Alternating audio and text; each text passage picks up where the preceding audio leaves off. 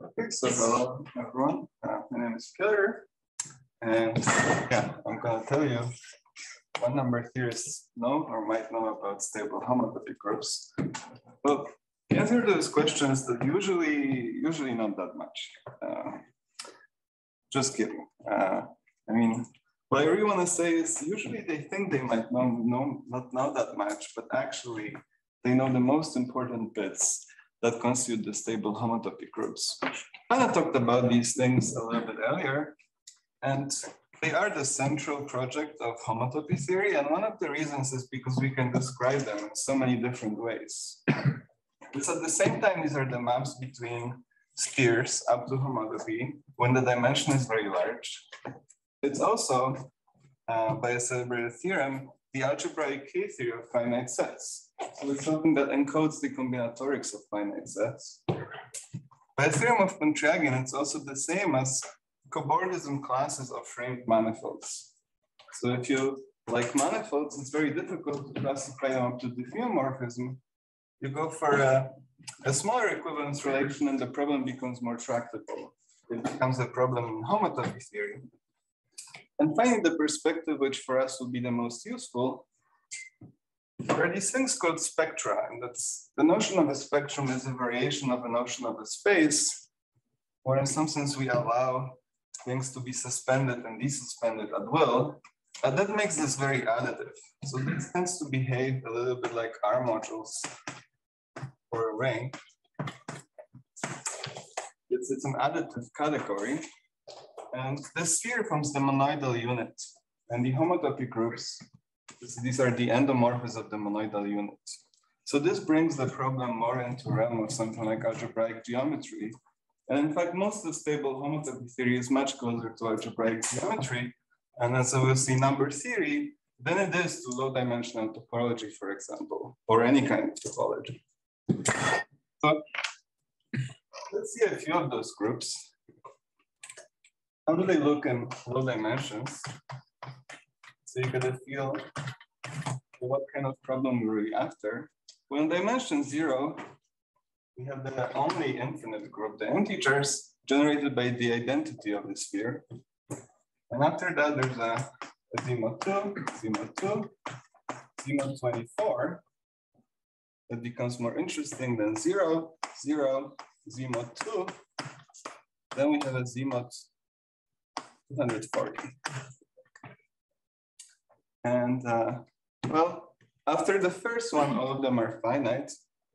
And now you might hope perhaps they're always cyclic. That's not true. The next one is Z mod 2 times Z.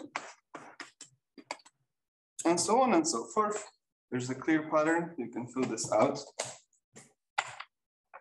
Oh boy, it's a half audience. Well, that's also a little bit of a joke. There is no clear pattern. In fact, these are incredibly, incredibly difficult to compute. And there's something called the Mahowald uncertainty principle, named after Mark Mahowald, unrelated to the uncertainty principle in quantum physics, which tells you that any algebraic approximation to the stable homotopy groups is infinitely far away from the actual answer. It's not a proven theorem, it's more like you experience, you can find better and better ways to describe those, and yet you're always very far away. But nevertheless, there are some patterns. I'd like to tell you how we can see them. Well, the first one is all of them are finite. Finite beyond the first one. So that's the first obvious pattern. That's the theorem of Serre and his Fields-Medal from the 50s. Now the second one is a little bit more subtle. They're all finite, so you can split them into p torsion parts for each prime. And let's look, where's the first place we have two torsion? The first time we have two torsion is in degree one. The first time I have three torsion, well, 24 is divisible by three, it's in degree three. And then the five torsion appears for the first time here in degree seven. And in fact, it's always true that the p torsion appears appears for the first time in degree 2p minus 3, which is the formula we get. I didn't get to uh, pi 11. This is, in fact, it's the first time we see 7 torsion. Okay, so like I said, those things can be approached by arithmetic by number theory. So what's the object of number theory that is relevant to this? That's what we call a formal group. A group. So do we get theorem or it's a empirical evidence for low price? Do we have what? Do we get theorem or it's a empirical evidence for low price? The theorem of, oh, this is a theorem, yes. No, no. Is, and we're gonna see where this comes from precisely without a proof. The formal group is a scheme which is isomorphic as a scheme, not as a group, to infinitesimal neighborhood. Neighborhood of the affine line. There's a small line here. It's really, these objects are defined over a field or a ring. And it's not really a scheme to make sense of infinitesimal neighborhoods. We need to introduce formal schemes. Let's ignore that for a little bit. It's somehow relevant for the content of the Stokes. What are some examples where you can start with just the affine line? If you want to think algebraically, the field you should imagine is the complex numbers. So something like this. Then you take, this already has a multiplication, namely ordinary addition. And you can take a small neighborhood around that. That's what we call the additive formal group.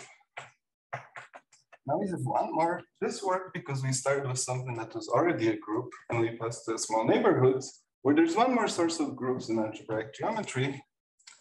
You can start with an elliptic curve. This an elliptic curve over a field. And again, pick a small neighborhood of the identity. And that's again, that's going to be what we call an elliptic formal group. And now, if you draw them over C, and that's a very important part of the subject, you'll notice this is actually the universal cover of this um, topology of the elliptic curve. In particular, they are locally isomorphic uh, around the identity as groups to the Lie algebra. And this is very important. In fact, if the field is of characteristic zero, these are isomorphic as formal groups. The important point is they are not isomorphic in positive characteristic, essentially because the exponential map involves division by a prime. And this already explains the first pattern to some extent. If we believe homotopy groups to do with formal groups, formal groups are trivial and characteristic zero. And similarly, rational homotopy groups are all trivial, except for the first. okay, now we connect to an example that's more involved, but has something to do with homotopy theory. Let's say we have a nice commutative algebra and spectra so it's something that represents a cohomology theory with multiplicative structure. Similarly to ordinary cohomology, there's a notion of a cup product. Now let's assume we have Chern classes. So there's a way to define Chern classes of complex vector bundles in E-cohomology. Then to that Quillen associates the Quillen formal group, which encodes the way the tensor product of vector bundles um, interacts with respect to Chern classes. The construction is a little bit involved. So let's get that. But the nice thing is usually this encodes the E-cohomology for large classes of spaces. And when E is particularly nice, you can recover it completely from this formal group. There are large classes of algebras and spectra which are completely encoded by the corresponding formal group. Unfortunately, the sphere is not, I mean, life is never that easy. The sphere is not that nice. There is no theory of Chern classes in stable homotopy groups. But what we can do is we can resolve the sphere as a ring using the homology theories with Chern classes. This is, if you think of these dually, these are coordinate rings of some notion of a scheme, we're really finding covers of the sphere with affine scheme associated very nicely. To ease, we can actually compute it. And from that, we get a spectral sequence. And the theorem which really describes the whole connection, this is one of the spectral sequences which Hannah mentioned yesterday. Well, it computes the homotopy groups of spheres. But what starts, what starts here is the cohomology of the moduli stack of formal groups with coefficients in a certain line This is the moduli stack of formal groups. It's an algebra geometric object which parameterizes the way formal groups can arise. I'll take questions at the very end and I'll move on. So this tells you, if we can understand formal groups and describe the object, the universal object which carries a formal group, then we're a spectral sequence away from understanding the stable homotopy groups themselves. So how do we understand formal groups? Well, it turns out in characteristic zero, they're all isomorphic. And in characteristic P, we have the following invariant we say that G over K, that's a positive characteristic now, is of height n, but the multiplication by P from G to G is a cover of degree P to the n. We can show it's always a cover, it's either zero or it's a cover of finite degree, which is a cover of P, and the height measures how exactly far is multiplication by p from being an isomorphism? In characteristic zero, it's always an isomorphism. That's why there's no interesting theory. And the theorem, due to Lazard, tells you that if you look at set g over k, positive characteristic and algebraically close up to isomorphism, and these are completely classified by their height. And the height can be any positive integer or infinite which corresponds to the multiplication by p being zero. In other words, there's no interesting theory in characteristic zero. In characteristic P, we have a complete invariant if we're over a field. If you're not over a field, those things can mix. But now the notion of a height gives you a way to decompose this moduli stack into strata corresponding to different heights and to try to understand its cohomology by understanding cohomology of each prime at the time. In fact, this decomposition can not only be performed here in the world of algebra, but there's a corresponding decomposition in the category of spectra itself. And the composition is usually known as the chromatic filtration, which is where the name of the subject comes from. What I'm talking about is called uh, chromatic homotopy theory.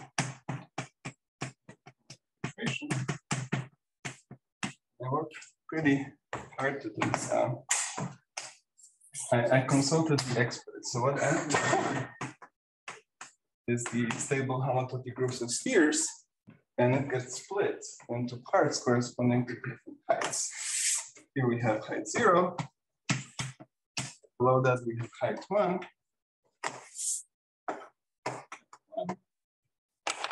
And what follows is well, height two um, height three, and maybe let's stop here, height four. And it, it divides the it divides the problem of computing the stable homotopy groups of figuring out the parts corresponding to each height. Of course, then they are in general non-trivially linked. So then you have to figure out how they get glued. But in fact, the two patterns we see here all correspond to each height. The first pattern is this triviality of uh, formal groups in characteristic zero. Only formal groups in characteristic zero are of height zero, and they're all the same. So there cannot be anything interesting rationally, and that's the first pattern. Well, the second pattern is more involved. We just observe here, if you have a formal group of height n, then this map is going to factor through the nth uh, iterate of Frobenius and you're going to see that the Lie algebra of G to the P to the nth power is isomorphic to itself. So there's a certain periodicity to the Lie algebra. And since this is precisely the line bundle which appears here, there's a certain periodicity in homotopy groups. Uh, at a specific height, then all of those periodicities get mixed. Well, if n is equal to one, the orange part at height one, this is p to the, uh, this is p minus one. And this gets doubled by two because they're t over two. And we get two p minus two, which is almost the two p minus three. In fact, there's a different spectrum mapping into the sphere where the first p torsion is in fact the degree 2p minus 2. It's the height one part. Okay, thanks so much for listening.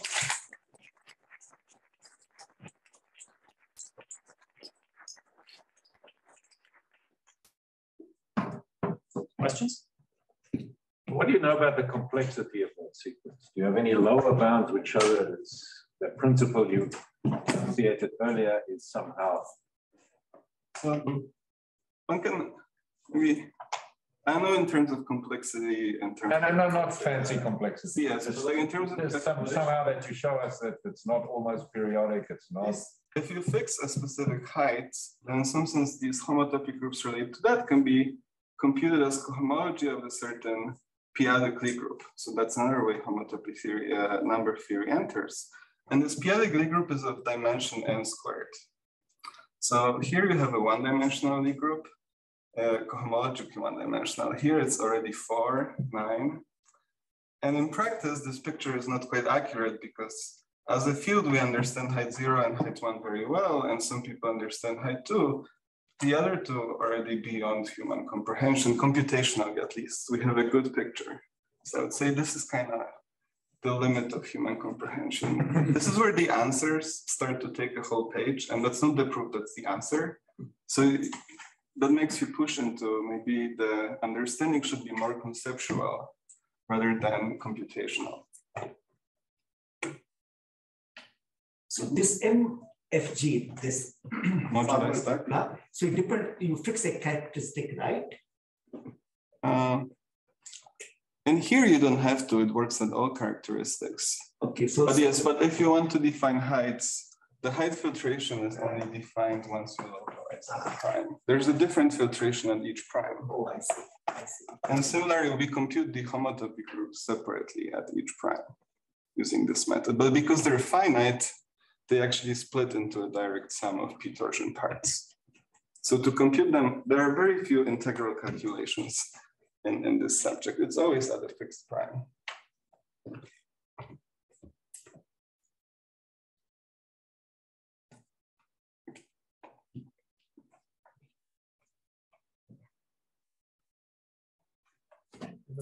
There any other question. Thank you again.